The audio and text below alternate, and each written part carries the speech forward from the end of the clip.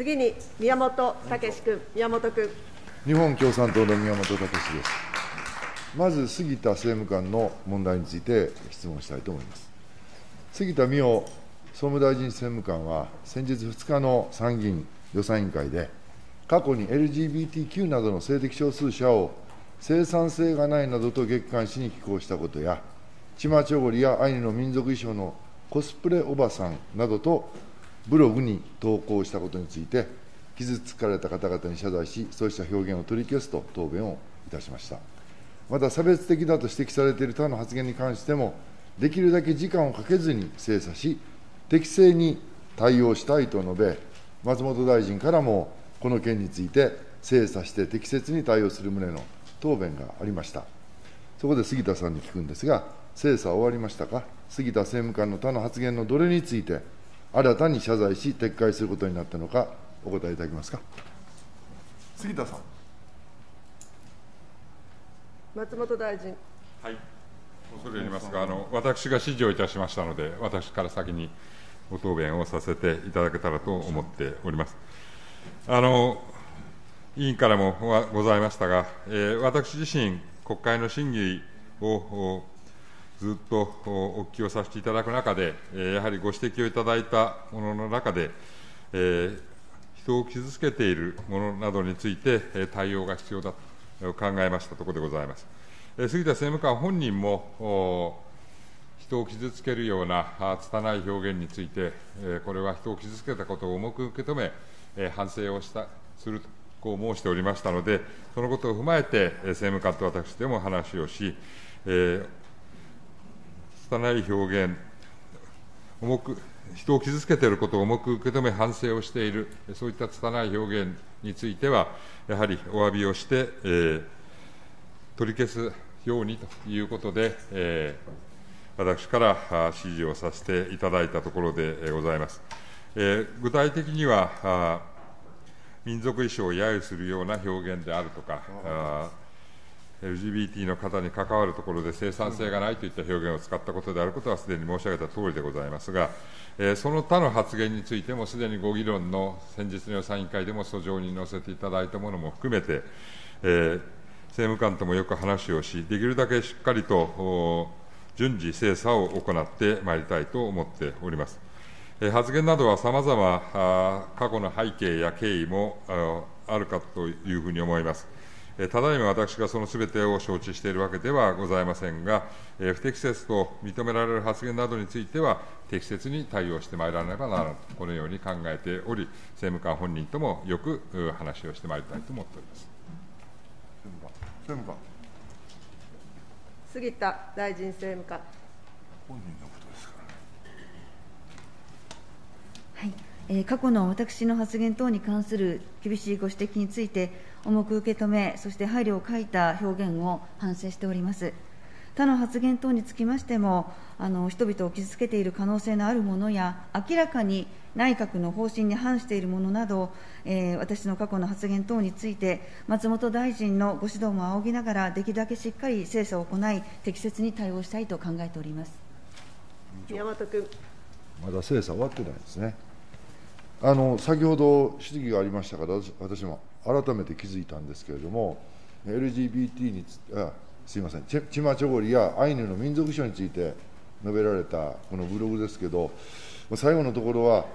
左翼の気持ち悪さ、恐ろしさを再確認したと、彼らは存在だけで日本国の恥さらしですと、まあ、こうお書きになったわけですね。でまあ、あの政務官には、なぜ私は左翼と戦うのかという、まあ、著書もおありになる。左翼とまあそれはね論戦していただくのは結構ですけど差し詰め、まあ、私は左翼でしょうけれどもこれは杉田政務官に率直に聞きますが私はあの気持ち悪いですか？それから日本国の恥さらしですか？杉田大臣政務官。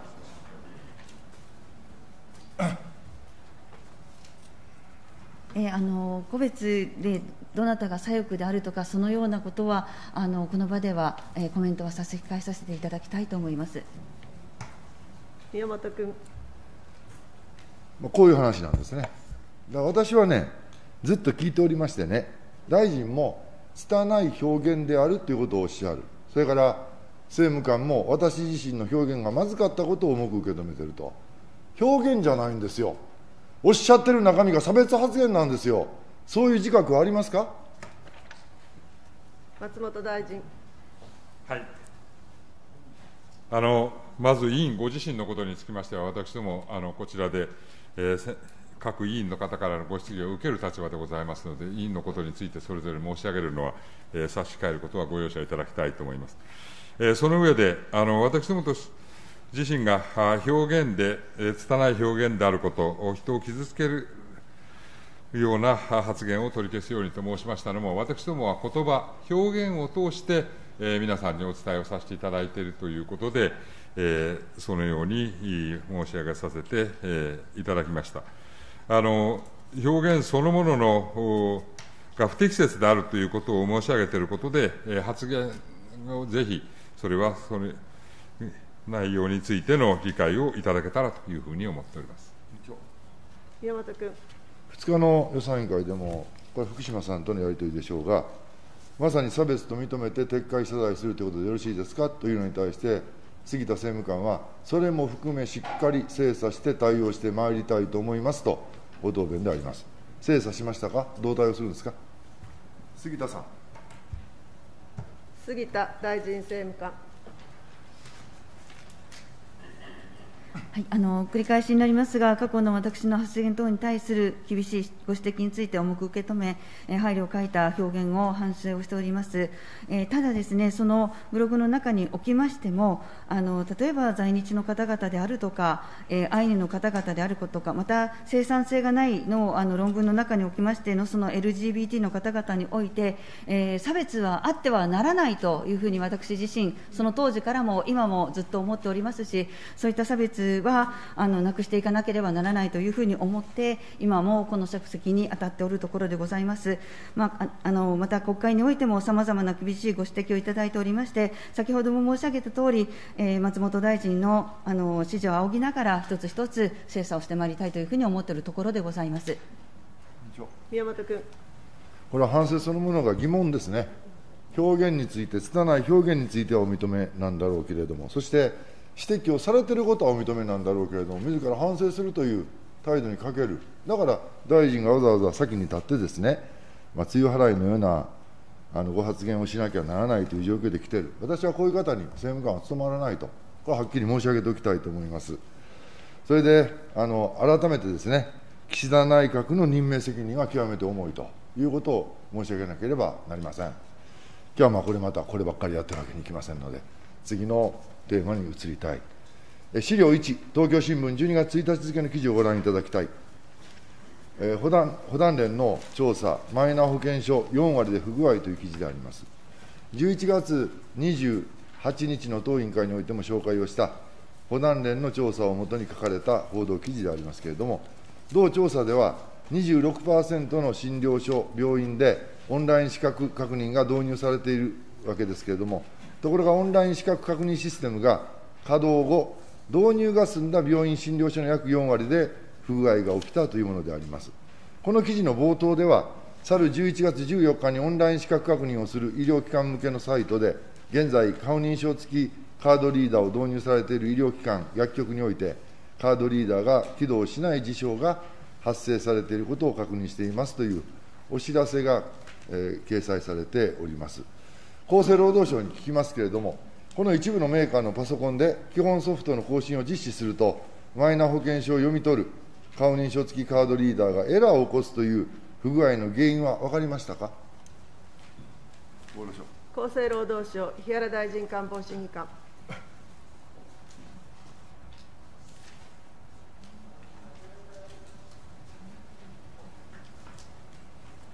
お答え申し上げます。あの本年11月に Windows のアップデート用の更新プログラムが原因で、えー、オンライン資格確認用の端末のアプリケーションが開けず、まあ、これと連動している顔認証付き顔リーダーが使用できない医療機関とあったという報告を支払い基金及び国保地方会から受けてございます。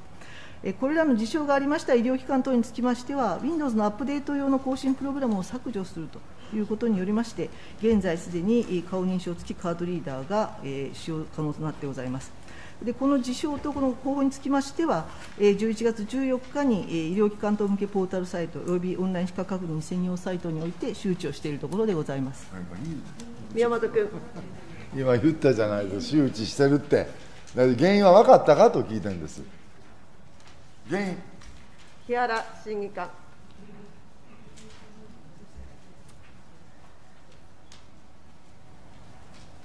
先ほどお答え申し上げましたが、えー Windows のアップデート用の更新プログラムが原因だったというふうに承知をいたしております。宮本君。よく分からん話ですね。あのじゃあ聞きましょう。オンライン資格確認で不具合が起き起きている間、現行の保険証があれば、まあ、本人確認は現行保険証でやれるわけですが、これ、マイナ保険証しか持っていない人、あるいは、まあ、やがての想定ですが、えー現行の保険証がなくなった場合は、どう対応するんですか？厚生労働省木原大臣官房審議官。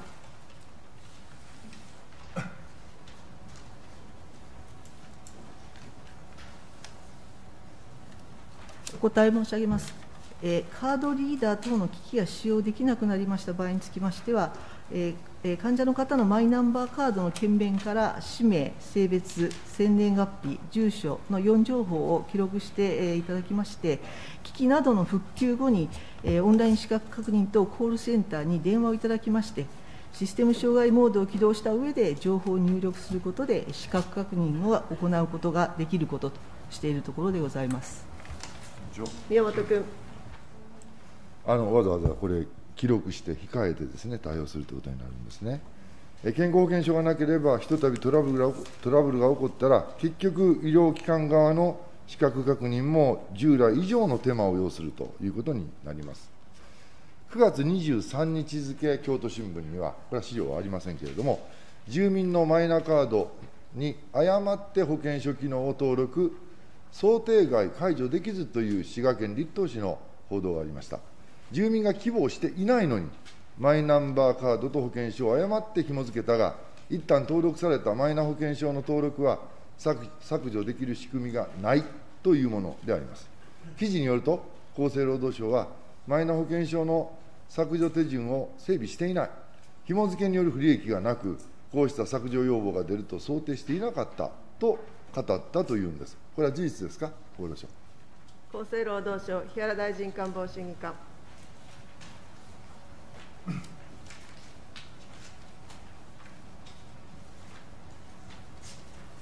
えマイナンバーカードと健康保険証の利用登録し、えーにつきましては、えー一旦利用登録をいただいた後の取り消し処理はできない取り扱いとなってございます。なおあの登録されたことによりまして、えーマイナンバーカードによるオンライン資格確認の利用が強制されるというものではございません。また、あの医療機関等における薬剤情報などの閲覧につきましても、ご本人の同意があった場合に限られるものでございます。宮本君。いやいや、不利益がないというこの言い草がそもそも全然事実と違うと思うんですよね。ご本人は明確に保険証の登録はしないでほしいと、こういうご意向だった。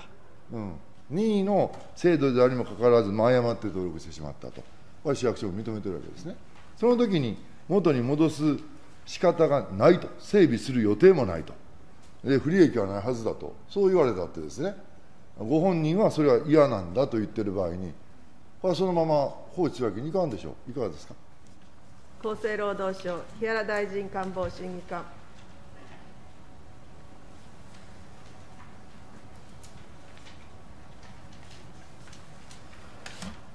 えーあの一旦利用登録された後の取り消し処理、これはあのおできない取り扱いとなってございまして、システムの仕組み上もできないこととなってございます。あの繰り返しになりますけれども、登録されたことによりまして、えーマイナンバーカードによるオンライン資格認の利用が強制されるものではないということでございまして、えー取り消し処理ができないことによる不利益は生じないものと考えてございます。そんなことないですよ、一宮本君。全然言い草おかしいですよ。本人は登録しないでほしいと言ってるんですから、不利益は生じてます。それでですね、資料2を見ていただきたい。これはデジタル庁のホームページに掲載されている、業種別のマイナンバーカードの未取得理由の調査結果なんです。赤い下線部、えー未取得理由のトップは情報流出が怖いから35.2%、次が申請方法が面倒だから31.4%、3番目にマイナンバーカードにメリットを感じない31.3%となっております。すでに6割から8割が取得したり申請中の上位5業種、トップはさすがに国家公務員でありますけれども、マイナンバーカード未取得理由のトップが情報流出が怖いから、その下の郵便局員や地方公務員の未取得理由のトップがマイナンバーカードにメリットを感じないと、笑い話みたいな話でありますけれども、これが国民の本音なんですね。えー、大臣、そうだと思いませんか、やっぱり個人情報の流出が不安だという声が高い、お認めになりますか、大臣。松本大臣。あの個人情報が流出してはならないのは、すでにご案内のとおりでありますのただあの、このマイナンバーカードの仕組みにおいての個人情報の流出の、えー、リスクについては、しっかりと対応していただかなければなりませんし、すでにさまざまな対応がなされていると思いますので、えー、十分にマイナンバーカードを安心して使っていただけるように、えー、この安全性などについても、メリットも含めて、えー、多くの皆さんにご理解をいただけるように、われわれも努力を重ねたいと思っております宮本君。まあ、そうおっしゃるんですね。しかし、資料3を見てください。共同通信の12月3日の配信記事であります。個人情報保護委員会は、年次報告で、2017年度から21年度の5年間で、少なくとも約3万5000人分のマイナンバーに関連する情報が紛失、漏洩したとの報告を公表いたしました。今日は個人情報保護委員会に来ていただいておりますけれども、2017年から2021年の5年間で、えー、マイナンバーに関する情報の紛失が何人分で、漏洩は何人分となっているか、その合計も含めてお答えいただけますか？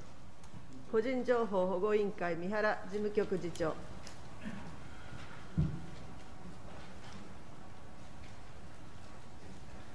お答え申し上げます。個人情報保護委員会では、過去5年間で29件の重大な事態に該当する紛失及び漏洩等について報告を受けてございます。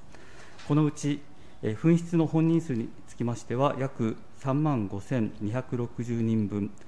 誤送付等を含めました漏洩の本人数につきましては、約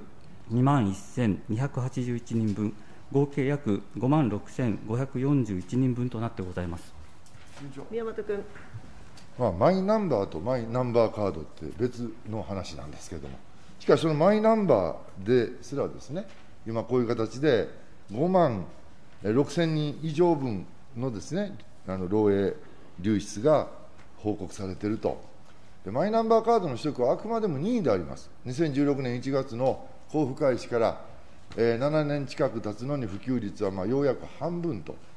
で先ほどのアンケートでも明らかなように、まさに個人情報漏洩の危惧も強いので普及が進まないんですね。で任意だというのであれば、正確な情報提供を行って、国民が正しく判断できるようにするのは当然のことだと思います。前回、私、厚生労働省とやり取りをいたしました、えー、保険証が廃止されれば、医者にかかれなくなるのではないかと、みんなが心配していると、えー、保険証廃止に伴ってマイナンバーカードを作らなければ、医者にかかれなくなるんですかという議論をやったら、これはあのとことんぎりぎりとやれば、えー、ご答弁はですね、えー、保険証が取り上げられて、えー、保険料を納めていれば、保険診療を受けられるのは当然という答弁が出ておりますから、それはそうなんでしょう。しかし世間はですね、そのことを知らされてないんですね。で私はね、これはちゃんとね、そういう誤解があるとすれば、この誤解については、いやいや、それはマイナンバーカードを作ってくださいということは政府は言うてるけれども、何もあの医療が受けられなくなるということはないんですよということを、まあ、もちろん私たちは言ってますよ。しかし、ちゃんとですね、厚生労働省をはじめ国もね、あの説明すべきじゃないですか、もっとあのこの誤解を解くべきじゃないですか、いかがですか、厚労省。厚生労働省、日原大臣官房審議官。